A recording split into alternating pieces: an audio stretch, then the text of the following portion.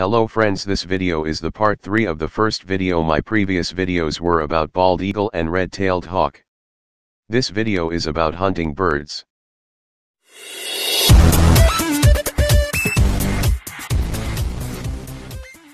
Birds of prey are hunters and are carnivorous by nature. Their eyesight is far sharper than that of human beings. Their ears are designed to determine the precise status of their prey. They have strong, sharp talons, and they can kill a small mammal with the pressure of their talons alone. Their hook-shaped bills can kill prey by tearing its neck with a single peck. Eagles, falcons, vultures and owls are examples of birds of prey. Birds of prey can be diurnal or nocturnal, and they are always on the lookout. Diurnal and nocturnal. Eagles, falcons and vultures are diurnal birds of prey, whereas owls are nocturnal, that is, they are active during the night. The two groups are not closely related. These birds' main prey includes small mammals, reptiles and insects. Once they locate the victim, they glide towards it.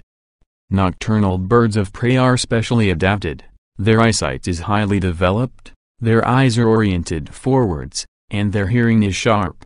The feathers on their wings are arranged in such a way that they make no noise when the bird is flying. In order to protect themselves while sleeping during the day, they have a dull plumage, which helps them to blend in with their surroundings. Eurasian eagle owl.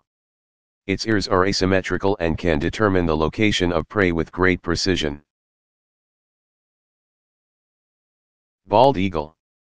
It is a visual field of 220 degrees and a bifocal vision of 50 degrees. Feet Most of the birds of prey catch their prey with their talons and tear away the meat with their bills. For this reason birds' feet constitute one of the morphological characteristics of a species. The toes end in strong sharp claws that the bird uses as pincers to catch its prey in flight. These are some list of some feats of some birds.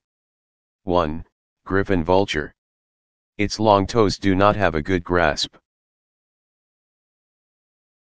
2. Fish hawk. Its toes have rough scales like barbs, which help it to catch and hold into fish. 3. Goshawk It has calluses at the tips of its toes. 4. Sparrow hawk. Its feet have tarsi and short strong toes. Bills, the bills of birds of prey are hook-shaped.